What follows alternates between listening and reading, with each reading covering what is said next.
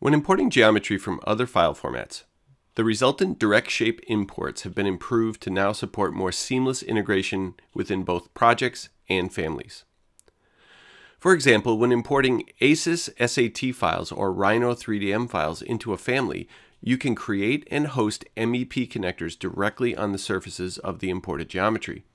This feature is available for those categories that support connectors such as mechanical equipment, electrical fixtures, specialty equipment, and others. You can now host face-based elements directly on the surfaces of imported 3DM or SAT file geometry.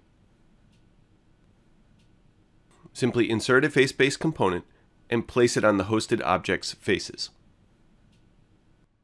When you import an ACIS SAT or Rhino 3DM file, you also assign that import to a category.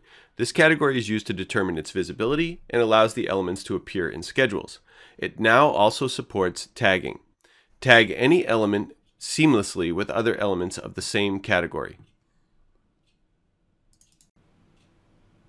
Gain more flexibility when dimensioning imported direct shape geometry by dimensioning to the edges and the surfaces.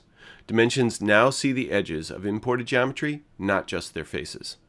Tagging, dimensioning, hosting face-based elements, and support for connectors make imported direct shape geometry operate seamlessly with native model elements.